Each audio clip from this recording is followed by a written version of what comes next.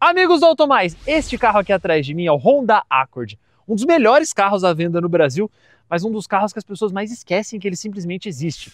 Tudo porque ele tem preço de Audi e de BMW. E aqui, na Brasil, aqui no Brasil as pessoas ligam muito para essa questão de status. Então, para que você vai pagar num Honda o preço de um Mercedes? E eu vou te explicar hoje por que, vale a pena.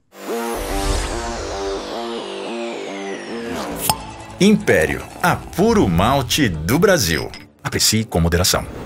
Bora olhar todos os detalhes do Honda Accord na versão topo de linha Touring com motor híbrido. Ele tem motor 2.0 4 cilindros aspirado de 146 cavalos e 19.2 kg de torque, ligado a um elétrico de 184 cavalos e 34.1 kg de torque. A potência total é de 207 cavalos. Por quê?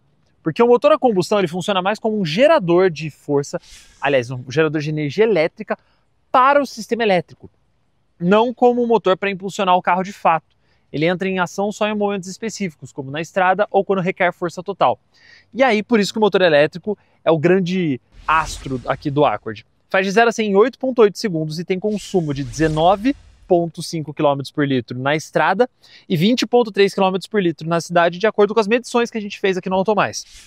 Oficialmente, são 17,8 km por litro na cidade e 16,1 na estrada. Aqui na frente temos esses faróis fininhos e a grade frontal aqui trapezoidal, que se tornará típico nos carros da Honda, assim como os Toyota híbridos. Tem o logo aqui com a bordinha azul e o para-choque com um visual bem diferente e discreto. Esse carro, nas fotos, nos vídeos, pode não parecer tão bonito, mas ao vivo é bem bonito e o bicho é grande, viu? São 4,97 metros de comprimento, 1,45 de altura, 1,86 de largura e 2,83 de entre-eixos. Faltou falar da transmissão, transmissão do tipo CVT.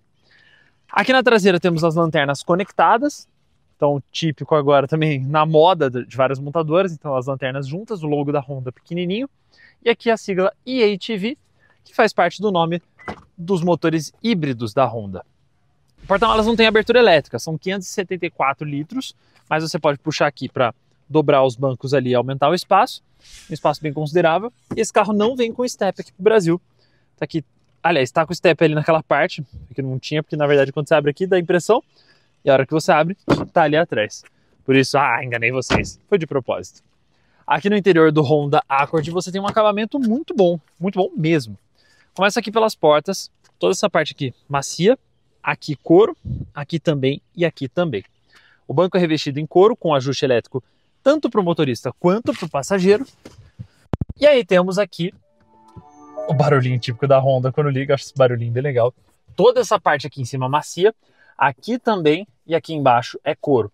Saídas integradas de ar como se fosse no Civic, central multimídia com Android Auto e Apple CarPlay sem fio e ar-condicionado digital de duas zonas. Então você controla aqui para o motorista e para o passageiro e comandos físicos, que isso aqui é maravilhoso.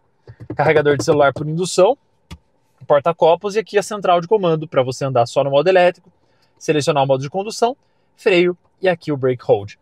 Painel de instrumentos totalmente digital configurável, então essa área aqui você controla as informações que você quer e aqui você coloca outras informações. Esse aqui é o medidor da bateria do sistema híbrido e aqui medidor de combustível. E tem também head-up display, dá para ver ali, ó, head-up display, que é também item de série, junto com este teto solar.